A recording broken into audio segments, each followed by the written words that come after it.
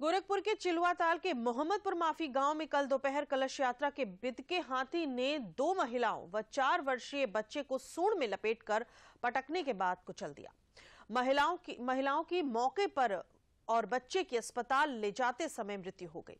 हादसे के वक्त करीब हज़ार लोग मौजूद थे और वहाँ भगदड़ मच गई।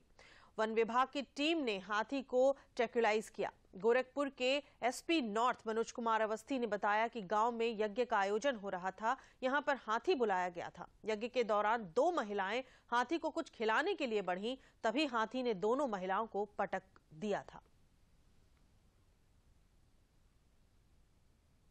वो हथिया हुआ सुरवा से ढकेल सब गिर गए दस बारह बाद इनके दतवा से दा भी लिया है।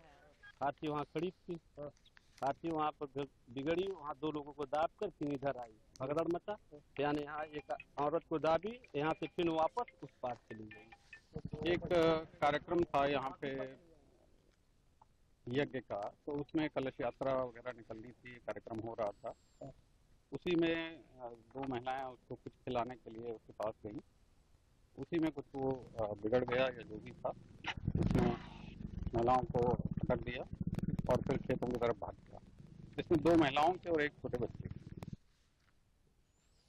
वहीं हादसे के बाद मुख्यमंत्री के निर्देश पर गाँव में पहुँचे कमिश्नर रवि कुमार, एनजी और आईजी रविंद्र गौड़ ने पाँच पाँच लाख रुपए की आर्थिक सहायता राशि पीड़ित परिवारों के खातों में स्थानांतरित कराई।